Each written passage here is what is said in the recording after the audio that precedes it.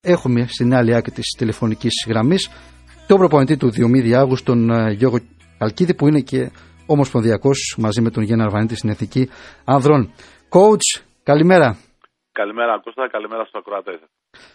Ένα παιχνίδι την προηγούμενη εβδομάδα απέναντι στην ΑΕΚ που δεν ξέρω, δεν νομίζω περιμένανε πολύ ότι θα καταφέρετε να είστε ανταγωνιστικοί, πόσο μάλλον να πάρετε και αποτέλεσμα ε, και μάλιστα προερχόμενοι από δύσκολες εβδομάδες με κορονοϊό που είχατε προβλήματα και σας είχε αφήσει εκτός προπονδύσεων για αρκετές ημέρες ουσιαστικά 10 μέρες αν δεν κάνω λάθος καταφέρατε να κάνετε προπόνηση και όμως ε, υπό αυτές τις συνθήκες και με μόλις ένα ξύνο και πολλά Ελληνόπουλα καταφέρατε να πάρετε ισοπαλία από την ΑΕΚ που έτσι όπως είναι το ρόστερ της είναι ίσως μία από τις καλύτερες ομάδες όλων των εποχών ε, που έχουν περάσει από το ελληνικό ποτάθλημα. Δεν ξέρω αν συμφωνείς εγώ. Ναι, ε, Κώστα όσον αφορά το πρώτο κομμάτι και τις δυσκολίες που αντιμετωπίσαμε σαν ομάδα ε, είναι πραγματικά θέλουμε αρκετή ώρα να τις συζητήσουμε και με την μεγάλη εποχή λόγω της πανδημίας αλλά και με, το, με την καραντίνα σε ένα σημείο το οποίο είχαμε φορμαριστεί μετά από 6-7 εβδομάδες προετοιμασίας. Είχαμε φτάσει σε ένα πολύ καλό σημείο και αναγκαστήκαμε τρεις εβδομάδες να μείνουμε σε καραντίνα όλη η ομάδα. Ε, αυτό μας οδήγησε να ξεκινήσουμε πάλι την προετοιμασία μας πάρα πολύ αργά. Με δεδομένο ότι ε, όλα τα παιδιά δεν είχαν καμία προπόνηση και η ασφάλεια ήταν ε, πάνω απ' όλα. Οπότε ξεκινήσαμε αρκετά σταδιακά μέχρι να ανεβάσουμε ρυθμό και αυτό το παιχνίδι με την ΑΕΚ σε καμία περίπτωση ε, δεν περιμέναμε να έχουμε αυτή, αυτό το ρυθμό και αυτή την ε, κατάσταση. Βέβαια το, το όνομα της ΤΑΚ μόνο της δίνει ένα κίνητρο σε, σε όλους τους αθλητές και έτσι έγινε και σε αυτό το παιχνίδι και σε αυτό το ε, μάτι με την ομάδα μου. Ε, είχαμε ένα έξτρα κίνητρο και μπορέσαμε να, να κοντράρουμε στα ίσα την ΑΕΚ. Και το καταφέρατε μετά από έξι μήνες που είχατε να παίξετε παιχνίδι. Δηλαδή τρομερό. Έτσι. Μαζί με όλα αυτά δεν είχατε καταφέρει να αγωνιστείτε στην πρώτη επανέναξη του πρωταθλήματος λόγω των κρουσμάτων κορονοϊού και μετά από σχεδόν έξι μήνες σε ένα πολύ μεγάλο ντέρμπι ε, ήρθατε ισόπαλοι 27-27 και με ελληνικό κορμό. Ε, πες μας λίγο για αυτό το μοντέλο του Διομήδη και αν πιστεύεις ότι θα μπορούσε να ήταν οδηγός και για πολλές ομάδες ε, στο ποτάθλημα.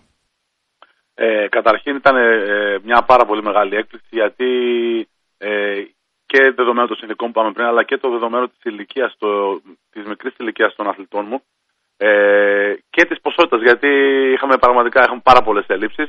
Η ομάδα ε, απεγκλώβησε κάποιους ξένους τον Ιανουάριο. Στηριχτήκαμε μόνο σε Έλληνες, οι οποίοι είναι πραγματικά από τους 7 που ξεκινάνε η βασική εφτάδα, οι 6 είναι 19-20 χρονών. Ε, αυτό και μόνο του δίνει έτσι μια ξεχωριστή αξία σε όλο αυτό που κάναμε με την ΑΕΚ ε, δείχνει το δρόμο ότι κάτι κάνουμε καλά. Νομίζω ότι το μοντέλο Κώστα γενικά είναι το μοντέλο της δουλειάς. Όποιος δουλεύει και είναι μέσα στο γήπεδο πολλές ώρες και ε, πραγματοποιεί προπονήσεις, ε, δεν υπάρχει άλλο μυστικό. Αυτό κάνουμε και στο Άργος. Φτάνουμε να κάνουμε προπονήσεις ε, σε μια φυσιολογική εβδομάδα όταν δεν έχουμε αγώνα από 8 μέχρι 10 προπονήσεις την εβδομάδα. Και σε εβδομάδα αγώνα 7-8 αναλόγως και ένα παιχνίδι. Ε, όλο αυτό μας έχει δώσει πολλή ενέργεια. Ε, είμαστε καλά, δουλεύουμε καλά και τα παιδιά έχουν αποκτήσει αυτοπεποίθηση πλέον και βλέπουν ε, αρκετά διαφορετικά πλέον το handball. Βλέπεις παιδιά από το Διομήδη να μπορούν να στελεχώσουν την ε, Εθνική Ανδρών στο μέλλον; Βλέπω ε, παιδιά του Διομήδη γιατί αρκετά παιδιά του Διομήδη θα μπορέσουν να το κάνουν αυτό πιστεύω αλλά και αρκετά παιδιά που βλέπω σε πολλές ομάδες μπορούν να το κάνουν αυτά αρκεί να ε, κάνει το κλικ μέσα τους και να προσπαθήσουν να, να δουλεύουν πολύ περισσότερο ε, από όσο συνήθως. Ε, υπάρχει αρκετό ταλέντο. Το μόνο που λείπει είναι πραγματικά ε, η δουλειά, τι προπονήσει και να δυναμώσουμε το πρωτάθλημά μας. Αυτό είναι τα κλειδιά για να προχωρήσουμε εκεί η εθνική ομάδα. Κανονικά θα έπρεπε να συζητάμε σήμερα και για το μάτς με τον Ολυμπιακό που θα έπρεπε, έτσι βάσει προγραμματισμού, να δίνατε εχθές. Και θα ήταν ένα πολύ μεγάλο μάτς γιατί ουσιαστικά θα έκρινε την δεύτερη θέση στον ε, νότιο όμιλο πίσω από την ΑΕΚ, το οποίο παιχνίδι όμως δεν διεξήχθη, ματαιώθηκε γιατί ο Ολυμπιακός ε, αποχώρησε από το πρωτάθλημα. Θα ήθελα έτσι ένα σχόλιο ε, από σένα που αξίζει πολλά χρόνια και άνθρωπος του αθλήματος. Ε, Κώστα, από την αρχή σημαδεύαμε και από την προετοιμασία μας τον Ιανουάριο και Φεβρουάριο το παιχνίδι αυτό με τον Ολυμπιακό γιατί θα έκρινε τη δεύτερη θέση. Όπως και πριν από την ΑΕΚ, αυτό σημαδεύαμε. Ε, η ΑΕΚ λέγαμε ότι θα είναι ένα πάρα πολύ δυνατό παιχνίδι για να μπορέσουμε να πάμε στο, στο Ρέντι να ε, δούμε τι μπορούμε να κάνουμε εκεί με τον Ολυμπιακό. Ε, Δυστυχώς, ε, πραγματικά το λέω δυστυχώς, ε, αποφασίστηκε από την δίκη του Ολυμπιακού να μην συμμετάσχει ο Ολυμπιακός. Ε, νομίζω ότι αυτό δεν είναι καλό για το άθλημά μας. Ε, θα ήθελα πραγματικά να υπάρχει και ο Ολυμπιακός και να κρίνονται όλα μέσα στο γήπεδο. Να πούμε και δύο για την ΑΕΚ, η οποία έχει το Σάββατο ε, ευρωπαϊκές υποχρεώσεις ημιτελικά απέναντι στην Γκόρενιε, την σλοβενική ομάδα. Ε, το Σάββατο 7 η στο ΆΚΑ. Επαναληπτικός θα γίνει στην Σλοβενία την ερχόμενη εβδομαδία. Έχουμε να πούμε για αυτό το ζευγάρι και, και για την ανόρθωση όμως η οποία κάνει μια καταπληκτική πορεία και είναι και αυτή στα ημιτελικά του ευρωπαϊκού κυπέλου απέναντι στην Σουηδική την Ίστατς. Ναι, νομίζω ότι και οι δύο ομάδες έχουν ε, τις προποθέσεις να προχωρήσουν. Ε, η ανόρθωση, για να είμαστε δίκαιοι, παίζει με καλύτερο ίσως αντίπαλο αυτή τη στιγμή. Η Σουηδική θεωρείται ίστατς ε, ε, ίσως λίγο καλύτερη από την Σλοβένικη. Ε, απ' την άλλη, η ΑΕΚ έχει όλες τις προποθέσει. Ε, νομίζω να κερδίσει το παιχνίδι ή να πάρει μια μεγάλη διαφορά και να πάει μέσα στη Σλοβενία 24 του μηνός, αν δεν κάνω λάθος, να διεκδικήσει την πρόκριση. Πολύ σημαντικά και τα δύο παιχνίδια που παίζουν στις έδρες τους ομάδες θα πρέπει να κερδίσουν και με, με, με αρκετά μεγάλη διαφορά για να μπορούν στις έδρες των άλλων ομάδων να διεκδικήσουν κάτι καλό. Γιατί γνωρίζω ότι είναι πάρα πολύ δυνατές τι έδρες. Πώς ε, πώς μπορεί να, ε, να κρίνει το γεγονός ότι ο Διομήδης είναι η ομάδα που έχει δυσκολέψει την ΑΕΚ πιο πολύ από κάθε άλλη, τουλάχιστον τα τελευταία δύο χρόνια. Πέρσι μόνο στο Άργος ιτήθηκε η Ένωση 32-29. Φέτος ε, πιθανότατα μπορεί να μην έχει άλλη απώλεια στο ποτάθλημα.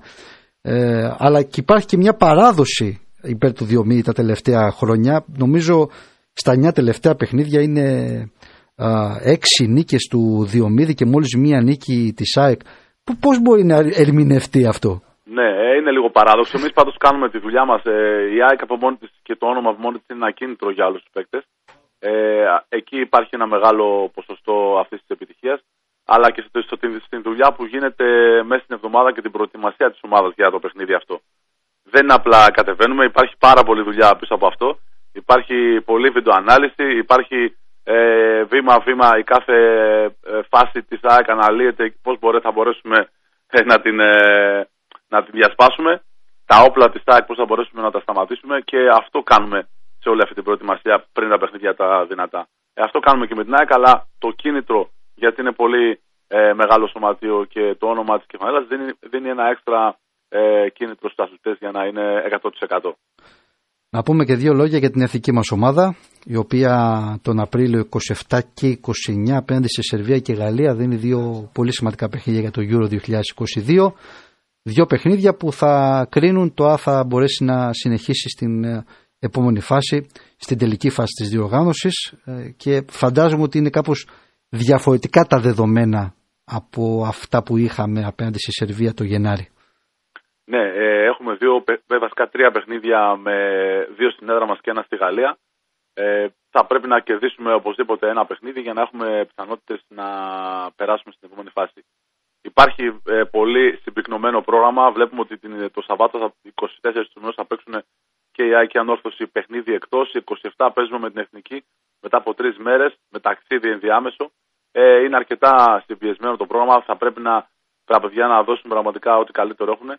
Ε, έχουμε πάντως μια ευκαιρία με, με ένα παιχνίδι κερδισμένο στην έδρα μας να περάσουμε σε μια μεγάλη διοργάνωση.